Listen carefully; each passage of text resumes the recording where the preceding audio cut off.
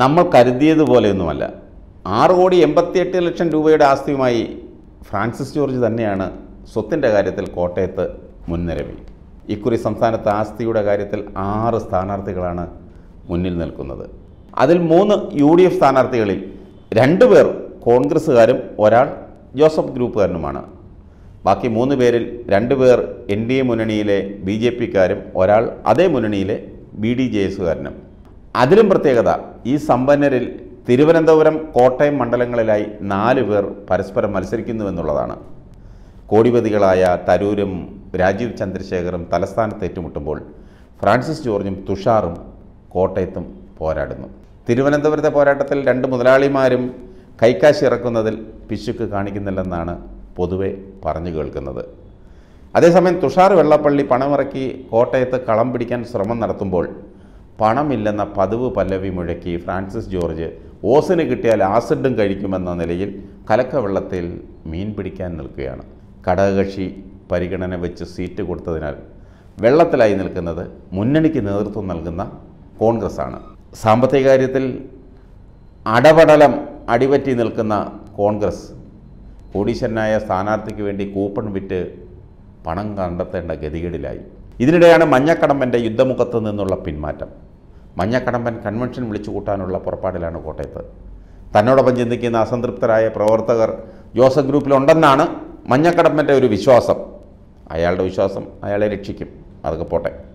എന്നാലും എന്റെ ഒരു സംശയം.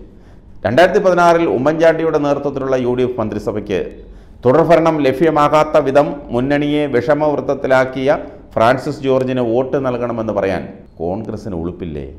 പല ആക്ഷേപങ്ങൾ അന്തരീക്ഷത്തിൽ അലയടിച്ചിരുന്നുവെങ്കിലും തുടർഭരണം ലഭ്യമാകാവുന്ന അവസ്ഥയിലായിരുന്നു യു ഡി എഫ് അന്ന്. കെ എം മാണിയുടെ കാരുണ്യ ബെനഫലൻ ഫണ്ടും അദ്ദേഹത്തിന്റെ തന്നെ അവസാനത്തെ ബഡ്ജറ്റിൽ അവതരിപ്പിച്ച റബ്ബർ വില സ്ഥിരതാ ഫണ്ടും ജനങ്ങളിൽ വലിയ തോതിലുള്ള ആശ്വാസവും ആവേശവും നിറച്ചിരുന്നു. പ്രതീക്ഷയും ഉണ്ടായിരുന്നു എന്നാൽ യു ഡി എഫ് കഴിഞ്ഞാൽ എൽ ഡി എഫ് എന്ന ഒറ്റ തത്വത്തിൽ വിശ്വസിക്കുന്ന രാഷ്ട്രീയത്തിന്റെ ബാലപാഠം പോലും അറിയാത്ത ചിലർ അന്നത്തെ ഇടതുമുന്നണിയുമായി കൂട്ടുകെട്ടുണ്ടാക്കി യു ഡി എഫിനും ഉമ്മൻചാണ്ടിക്കും കെ എം മാണിക്കുമെതിരെ നാട് മുഴുവൻ നടന്ന് അപവാദം പ്രചരിപ്പിച്ചു.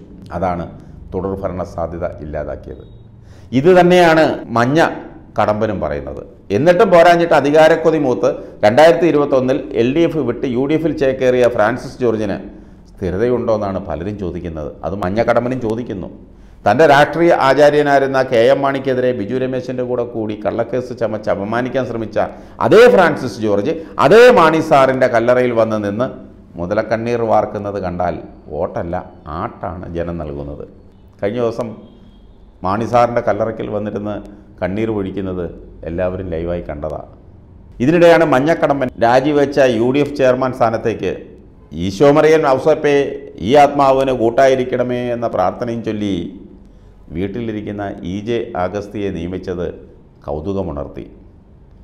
പ്രിൻസ് ലൂക്കോസിനെ പോലെയുള്ള ചുറുചുറുക്കുള്ള ചെറുപ്പക്കാരെ ഭയക്കുന്നതുകൊണ്ടാണ് ഇ ജെ അഗസ്തിയെ പോലെ രാഷ്ട്രീയം അവസാനിപ്പിച്ച് വിശ്രമജീവിതം നയിക്കുന്ന ജടകൊഴിഞ്ഞ സിംഹങ്ങളെ വീണ്ടും കളത്തിലിറക്കുന്നത് പി ജെ ജോസഫ്. ഏതായാലും വരും ദിവസങ്ങളിൽ കോട്ടയത്ത് ചില പൊട്ടിത്തെറികൾ നടക്കുമെന്നാണ് പറഞ്ഞു കേൾക്കുന്നത്. അതിൽ ആർക്കൊക്കെ പരുക്കേൽക്കുമെന്ന് കാത്തിരുന്ന് കാണാം.